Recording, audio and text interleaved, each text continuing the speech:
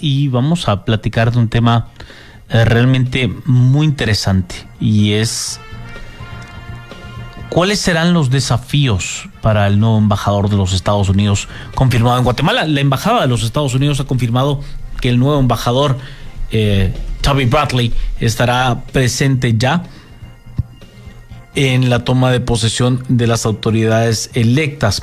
Y para conversar sobre este tema está con nosotros el, licenciado Luis Fernando Andrade Falla, el embajador, es internacionalista, ex embajador y también ex vicecanciller. Embajador, me da mucho gusto de saludarlo. Tenga usted muy buenos días. Espero que haya tenido una muy feliz Navidad. Pues gracias, Juan Carlos. Igualmente, espero que usted también haya tenido una feliz Navidad y un saludo a la audiencia de la primera hora. Gracias, embajador.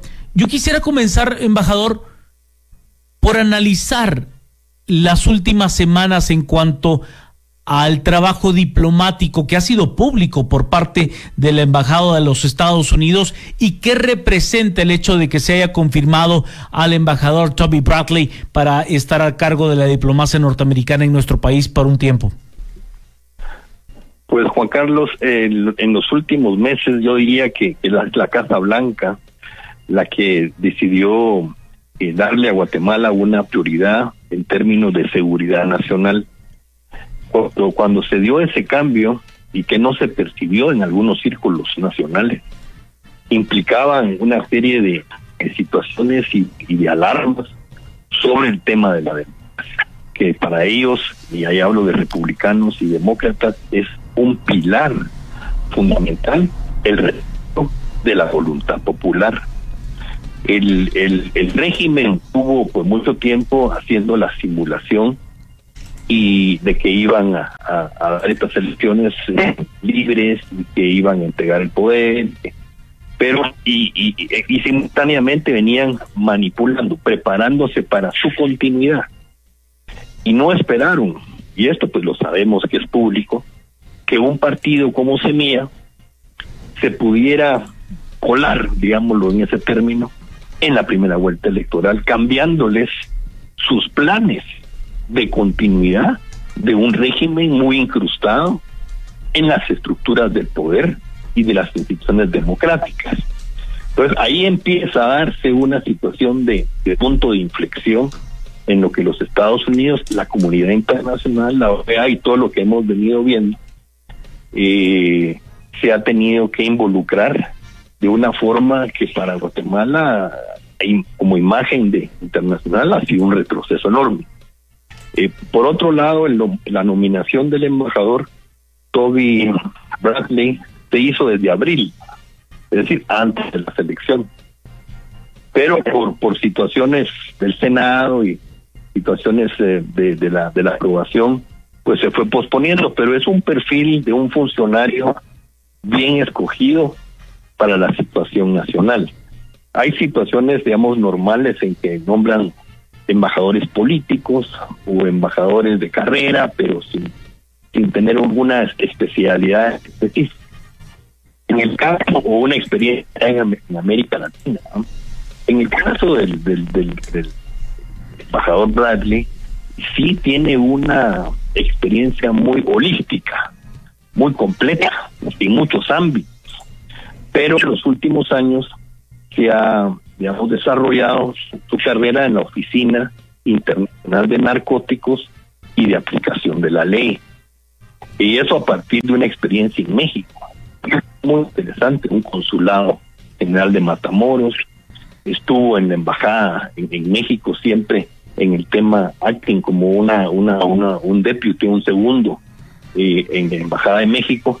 Luego estuvo en una una oficina siempre de narcóticos sobre innovación, pasó a ser el segundo a nivel global sobre este tema y viendo los, los temas de África y de Medio Oriente. También tiene una experiencia en otros ámbitos, en el ámbito de la Casa Blanca, en temas de seguridad nacional sobre el tema de la OTAN. Luego tuvo otra experiencia, estaba viendo yo en su currículum, como como político asesor en la, en embajada en Londres. En fin, tiene un bagaje, tuvo una experiencia como asistente, ha sido joven en su momento, más joven, en, el Congreso y, en temas de seguridad nacional. Tiene un buen récord académico, ha sido premiado eh, porque tuvo una participación muy interesante y una participación voluntaria en Irak.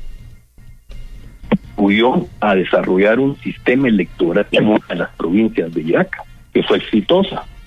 Es decir, es un, un funcionario premiado, reconocido con una, una experiencia artística eh, a nivel global y sobre todo en los últimos años en el tema de narcóticos. Venir a Guatemala eh, es la importancia que le está dando Estados Unidos a nuestro país en las coyunturas actuales. Embajador, cuando analizamos eh, ese perfil tan profundo del cual usted ya nos hacía mención del embajador Bradley, Habrá que entender que Guatemala ha sido un aliado en materia de narcóticos para con los Estados Unidos, convirtiéndose en un en un muro para el tráfico de drogas, pero Guatemala tiene otros problemas. Tiene el problema de la buena gobernanza, tiene el problema de la profunda corrupción o la corrupción significativa, como le llaman los norteamericanos. ¿Cómo puede aportarle el embajador Butley a esos puntos tan fundamentales y a la relación directa con Estados Unidos que parece haber quedado lacerada con la actual administración gubernamental? Y le pongo como, como punto de ejemplo el hecho de que el presidente de la República, Alejandro Yamatei Falla, no haya recibido en su momento al subsecretario Nichols. Mire, ya el gobierno de Yamatei ya va de salida y va de salida desprestigiado, como una vergüenza nacional eh, y con una comunidad internacional que estuvo cuestionando, cuestionando ah, y, y sin, sin darle credibilidad a las expresiones del gobierno. Los Estados Unidos tienen muchas agencias de cooperación. La embajada reúne, digamos, no, solo es el embajador, sino tiene el apoyo en este caso directo de la Casa Blanca. Claro, tiene una especialidad. El narcotráfico ha afectado a la institucionalidad del país. Lo que pasa es que no son temas que se ventilan con mucha transparencia, pero aquí ha habido muchas expresiones, hay muchos recursos que se expresan en municipalidades, en ciertas regiones del país del narcotráfico. Eh, está el tema de la migración. Ustedes han visto, ya una visita de alto nivel a México, porque se desbordó en los últimos año y medio se ha desbordado la frontera sur de los Estados Unidos y ahí van guatemaltecos, hondureños, van de Sudamérica, de otras partes del mundo, mexicanos, y es una, un caos, y es un tema interno de seguridad nacional. Entonces también Guatemala se interna en esos pasos, en esos pasos eh, de ilegales, porque acompañan a los, migrantes también pasan otro tipo de situaciones. Y, y son corredores de tierra de nadie. Muchas autoridades desafortunadamente se prestan. Entonces el narcotráfico tiene muchas ramificaciones. Muchas. ¿eh? usted no se, hay muchas personas que no se imaginan el alcance que tienen en el ámbito político, por supuesto que han jugado un papel discreto, pero tienen muchos recursos. Entonces hay que ver este nombramiento de forma muy positiva, de al nuevo gobierno una posibilidad de desarrollar una relación más profunda, más estratégica con los Estados Unidos, donde entren otros componentes, el componente de la inversión, la atracción de, inversiones americanas, el nearshoring. Hay muchas oportunidades con los Estados Unidos. Yo le diría, hemos desaprovechado la relación con, con nuestro vecino y es la oportunidad, el presidente electo pues estuvo en la Casa Blanca es decir, ya él tiene, de hecho, un gran respaldo de los Estados Unidos y obviamente de Europa y de otros países. Entonces va a ser fundamental no solo este nombramiento nuevo en la, Embajada de, Estados Unidos en Guatemala, sino es la relación en su conjunto con los Estados Unidos. El tema de la migración, embajador, tomando como base de que algunos estudios le dan como referencia de que Guatemala expulsa entre mil y mil doscientos guatemaltecos por día, pero que además es un país de paso para una enorme cantidad de ciudadanos venezolanos, por ejemplo, haitianos, extracontinentales incluso. ¿Qué puede hacer el próximo embajador de los Estados Unidos en nuestro país para tratar de modificar esos números que, como usted pone sobre la mesa, eh, obviamente representan un tema de seguridad nacional para los Estados Unidos. Ahí no hay un tema de republicanos o demócratas. La, la, situación ha sido muy compleja de, de afrontar. Pues mire, como la, la institucionalidad del país es la que se ha debilitado, pero debilitado de una forma alarmante, que ya, ya, ya es incapaz de atender estos desafíos. Pero son desafíos internos, es desafío de fronteras, es, desafío del control del territorio, del territorio nacional. Es decir, eh, la democracia lo que pretende es ir fortaleciendo y mejorando los liderazgos políticos, pero hemos visto lo contrario. Entonces, todo esto que tiene que ver con las redes ilegales, y con el contrabando, con el narcotráfico, todo eso ha permeado profundamente. Entonces, para que haya una salida o empiece a haber una luz de, mejora en esta materia, se requiere que nuestra institucionalidad sea socio confiable de los Estados Unidos y que la, el Estado de Derecho se cumpla. Es que lo que hemos visto en este régimen eh, inaudito. ¿Cómo es posible que una Corte Suprema de Justicia, mire, imagínense, se haya quedado cuatro años más y que el Congreso haya sido parte de eso? Solo ese tema ante el mundo. Es decir, una manipulación, eh, que diría yo, burda del sistema de justicia. hay mucho que hacer a lo interno mucho que trabajar con los Estados Unidos y con la comunidad internacional y todos los sectores tenemos en alguna medida que contribuir, porque Guatemala sí retrocedió años con el régimen actual que afortunadamente ya va de salida. Embajador, cuando analizamos el contexto de lo que se conoció durante mucho tiempo como el Triángulo Norte de América Central, y la relación con Estados Unidos. Me refiero a la posición que tiene hoy El Salvador, a la posición que tiene Honduras y también a la posición estratégica de Guatemala. ¿Qué opciones, qué cintura puede tener la próxima administración gubernamental de nuestro país y también la relación con el gobierno de los Estados Unidos que ha sido bastante firme en materia de generar esa transición democrática? Mire, hay un desafío en lo que es el Triángulo Norte ya antes era el desafío Centroamérica, porque Nicaragua, quiera que no, es parte del sistema de integración centroamericano.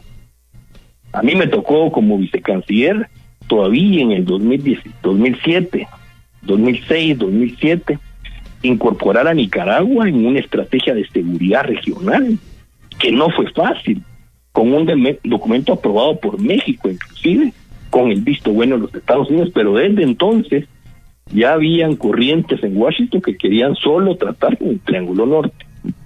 Al cabo de los años, pues efectivamente Nicaragua se radicaliza y se sigue radicalizando y quedó el Triángulo Norte, pero dentro del propio Triángulo Norte. Guatemala es un país, por su peso económico e histórico, es un líder. Pero los problemas internos de Guatemala han dejado que este esta subregión de Centroamérica tampoco tenga una noción de, una articulación. Y hay procesos internos políticos muy propios de cada país que dificultan de alguna forma una coordinación entre nosotros como, como vecinos. El, el nuevo régimen tiene un desafío, pese a algunas diferencias ideológicas que puedan haber, de que hay que tratar con nuestros países vecinos. No podemos dejar de conversar, dialogar y de coordinar acciones y de promovernos como región. Es que el, el Triángulo Norte son 30 millones de habitantes más o menos. Somos una plataforma muy interesante que hay que promocionar la integración de ese Triángulo a través de infraestructuras y otras cosas. Entonces, sí, el nuevo, el nuevo gobierno tiene grandes desafíos, también grandes oportunidades tanto aquí en el Triángulo Norte como con propio con México. México no es un no es un país eh, el país muy grande, vecino nuestro, hay muchos desafíos, pero tenemos que tratar también con México y con los Estados Unidos. Tiene que haber otra política exterior más dinámica, más estratégica. Y por supuesto, yo tengo la esperanza que el nuevo gobierno vaya a aprovechar, aprovechar la apertura internacional que ha recibido. Embajador, ¿le puedo pedir un favor? ¿Y será usted tan gentil de quedarse un